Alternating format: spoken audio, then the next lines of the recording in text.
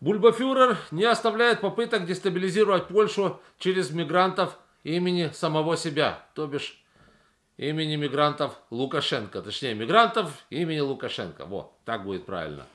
За сегодняшний день поляки предотвратили 56 попыток переходов мигрантов Лукашенко, нелегальных в Польшу. Причем надо сказать, что в некоторых случаях мигранты Лукашенко вели себя просто-таки вызывающе.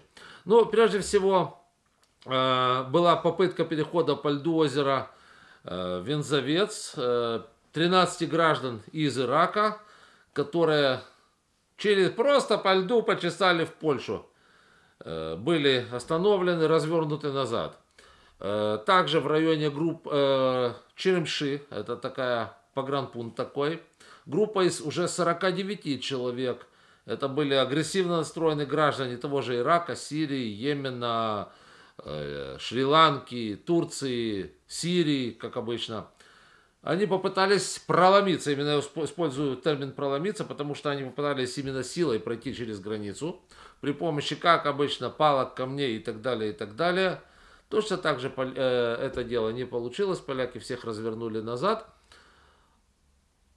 Пока они все остаются, я уже рассказывал, пока что 700 человек остается по-прежнему в Брузгах и никуда они не деваются. Куча мигрантов Лукашенко снимают квартиры где-то в Гродно, еще где-нибудь, то есть по разным городам.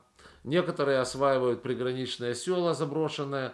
То есть они делают все, что угодно, но, э, скажем так, домой возвращаться не хотят по тем или иным причинам. Соответственно, вот эта вот вся свистопляска с э, пересечением польской границы будет, будет продолжаться. Нам будет о чем послушать и порассказать.